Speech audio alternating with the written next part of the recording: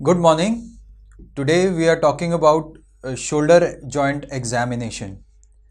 So it is taken for granted that you have already completed a thorough clinical history from the patient. Without a thorough history, clinical examination of shoulder joint will not lead you anywhere. As Hippocrates had said, declare the past, diagnose the present, and foretell the future. So, to diagnose what is presently ailing the patient, you have to go through the clinical history first and then the examination. Only then you will be able to make the correct diagnosis and proceed on to a correct treatment for the patient. So we are through with the history. We are starting with the uh, general physical examination first. In general physical examination, it's important to do a ligamentous laxity scoring or the Beighton scoring. This is especially important in patients with complaints or suggestive of shoulder instability. So Beighton scoring is out of 9. Uh, first point is for the ability of the patient to passively move the thumb towards the volar aspect of the forearm. This the patient can do try and do it himself or the examiner can do it. So a patient can do it on one arm, it's one point. If can, patient can do on the other arm, it's one more point. Second uh, test is ability of the patient to hyper extend the fifth or the little finger at the MP joint Hyperextension more than 90 degrees gives one point. For the other arm also another point. Then you look for hyperextension at the elbow.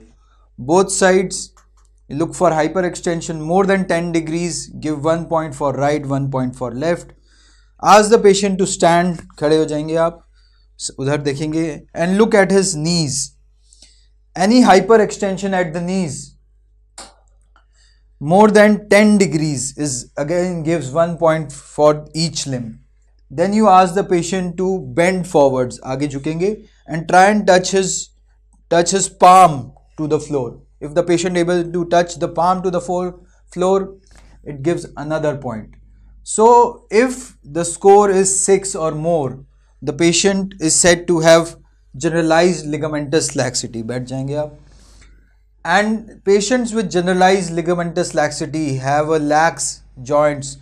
So they have an inherently lax collagen. Such patients are usually uh, hyperlax and uh, if they have instability symptoms they won't be very good candidates for a surgical reconstruction or repair. So after general physical examination, you move on to the regional examination of the shoulder. The principles of examination remain the same. You always start with look or inspection, then feel or palpation, and then move, do movements, muscle testing, and then do the special tests. So, first start with inspection Keep your shoulder examination modular and be gentle with the patient. Uh, don't cause him any pain. Explain him whatever you are trying to do so that you take him into confidence and patient is comfortable all the time during the examination. So in examination, in inspection, you start. You can start from the front. You look at the both the shoulder levels of the patient if they are at the same level look at the nipples both are they the same levels look for any uh, soft tissue abnormality or like swellings in the infraclavicular region, uh, supraclavicular region and infraclavicular region, any atrophy of the muscles in the pectoral region or the deltoid region. Look for any bony deformities, abnormalities at the medial end of the clavicle lateral end AC joint if you see any uh, deformity any abnormal prominence of the acromion lateral end of the acromion any abnormal scar, sinuses if there are any any discoloration abrasions if they are. So from the front you look at all this. From the uh, side again look at the contour of the uh, your shoulder uh, patients with a uh, dislocated shoulder a locked dislocation would have lost the rounded contour. Even in deltoid uh, paralysis the contour may not be there. Look at the contour look at the head posture if it's a forward head posture or a, or not. Look at if there is any uh, exaggerated cervical lordosis or is it the lordosis is not present. Any swelling or abnormality present this way. Uh, then looking from the behind look at again uh, the any abnormal uh, soft tissue abnormalities if you are able to appreciate any fullness or atrophy in the supra scap, uh, scap spinatus fossa in the infraspinatus fossa. If the le level of scapula looks fine on inspection is there any kyphosis um, uh, exaggerated kyphosis of the thoracic spine all these have to be commented upon scapula if there is any abnormal static winging of the scapula or abnormal medial border prominence or inferior angle prominence of the scapula has to be commented upon at this point.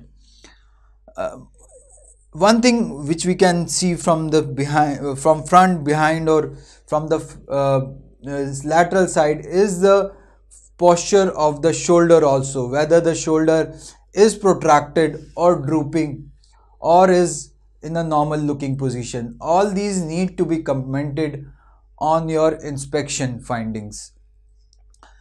Then moving on to palpation. Uh, as the dictum is you always in uh, palpation you always start with temperature with the back dorsum of your hand look for temperature on the normal side first and the abnormal uh, affected side then. Do it at different points in front of the shoulder back of the shoulder joint ac joint sternoclavicular joint. Look just feel the temperature. It's norm, uh, same on both the sides. Then mark your uh, uh, mark your bony uh, points which are important.